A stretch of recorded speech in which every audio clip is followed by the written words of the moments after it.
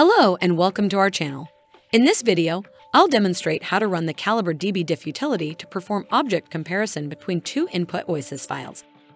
Typical layout versus layout database comparisons is done using tools like Calibre NMDRC with XOR rules.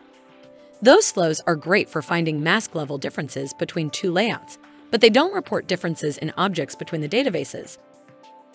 In this example, you can see that my layout versus layout comparison reported no errors.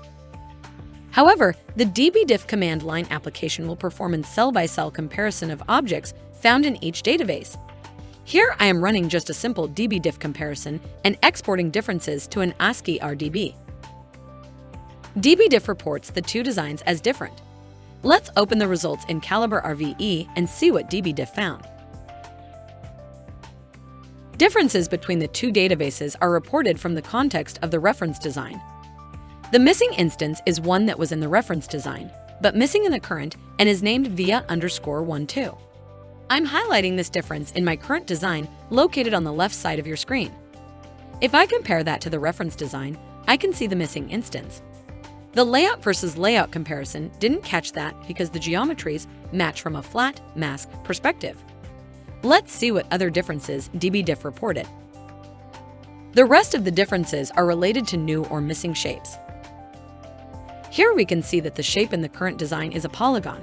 When I investigate the mismatched shape in the reference design, we can see that it is a path object. For mask comparison, these are equivalent. But for object comparison, this is a difference that we want to catch. The dbdiff application includes many different comparison options to specify how to compare the two databases together. For this example, I'll add compare zero width paths and compare zero width polygons. Zero width objects are typically dropped in layout versus layout comparison. I'll also include the options to compare text objects between the two layouts and another to compare any properties attached to the objects.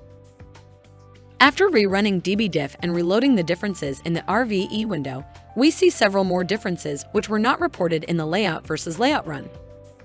First, we see new and missing text differences that is a result of adding the compare text option. The text shown in the reference design is different than the one in the current design. Next, we found a property difference that is reporting a difference we didn't see in the layout versus layout run. When I select the shape in the design, we can see a property attribute named placement and a value of reserved.